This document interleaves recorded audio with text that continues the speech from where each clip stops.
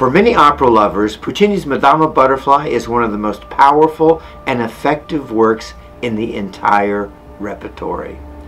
The American sailor, the young Japanese girl, and two cultures so opposed from one another uh, all together create a toxic brew that poisons anyone who draws near.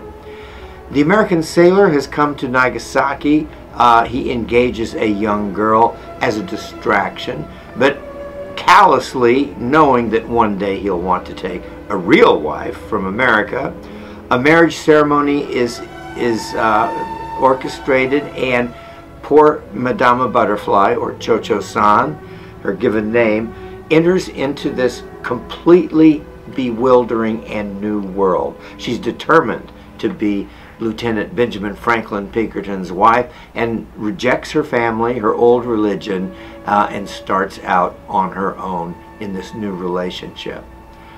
Very shortly afterwards, she finds herself abandoned, but absolutely wills herself into believing that he's going to return to her. Everyone else has lost faith, but finally she feels that she's been justified when his ship is seen coming into the harbor. Soon, though, the callow American sailor undermines any faith she may have had still that he would be faithful to her, that he would love her, and he undermines all hope she had for stability, love, a family, and happiness. Instead, she realizes only two things remain to her honor and death.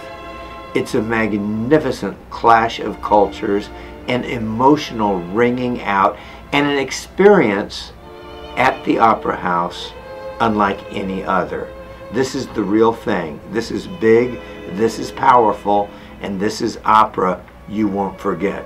Come and see Florida Grand Opera's Madama Butterfly.